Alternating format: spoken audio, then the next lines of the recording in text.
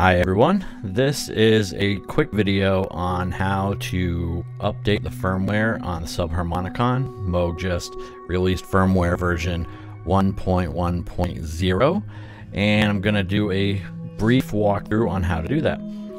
So first thing is when you download your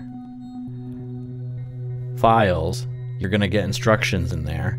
You're going to need to download the Sysex Librarian. At least for me, that's what I did on Mac. So I downloaded that, and then that you're going to load these Sysex files into the application right here. And you have to do these in order. First, you're going to do the invalidate script, and that will get the subharmonicon into a ready state, just like that one position indicates that it's ready. Then you do the erase script. And the LED moves to the second position. And then you will do the third script, which is the actual firmware. And the lights will look like it's filling up.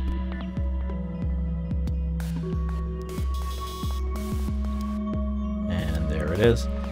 Now, I actually ran into an issue where mine ended up getting stuck at that at that point, and I'm actually speeding up right now in the video this progress bar. Um, but what I ended up having to do was I went on the Subharmonicon Facebook group and found someone saying that you have to reduce the transmit speed because after I was done, it just kept doing this indefinitely. It wouldn't stop doing this.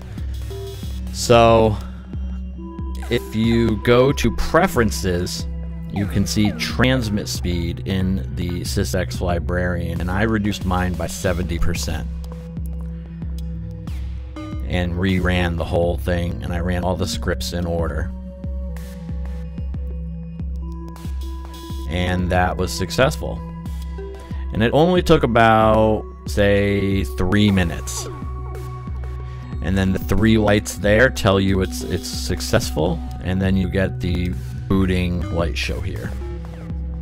And that's it. Thank you so much for watching. Hope that helped.